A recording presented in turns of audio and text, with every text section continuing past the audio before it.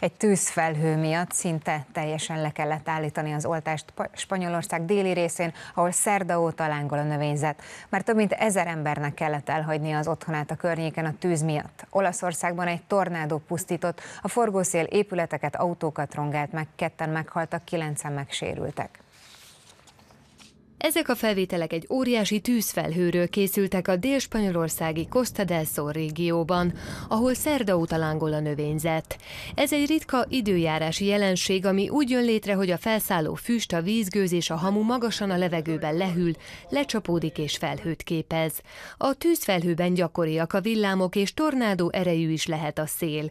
A hatóságok ezért átmenetileg szinte teljesen felfüggesztették az oltást a földön, és csak a levegőben folytatták a munkát át a helikopterekkel és a repülőgépekkel. A környéken már csak nem 4000 hektárnyi területet perzseltek fel a lángok.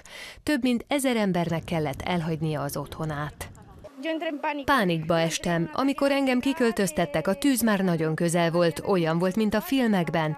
Senkinek nem kívánom, hogy ilyet átéljen, ez maga a pokol, mondta egy spanyol nő. A katasztrófának már halálos áldozata is van, egy tűzoltó vesztette életét. A hatóságok szerint a tüzet valószínűleg gyújtogatás okozta. Ez egy szörnyűség, meg kell bűnhődnie annak az embernek, aki ezt tette. Oda lett a gyönyörű táj, a fák, az állatok, mondta egy másik kiköltöztetett. Ezek a felvételek már Olaszországban készültek. Pantelleria szigetén egy tornádó pusztított. A forgószél több ház tetejét is leszakította, és autókat, épületeket, utakat rongált meg. Legkevesebb ketten meghaltak, kilencen pedig megsérültek, közülük négy embernek válságos az állapota. Bár évente több száz tornádó söpör végig Európán, ritkán lehet róluk hallani, mert a legtöbbször nem okoznak komolyabb károkat.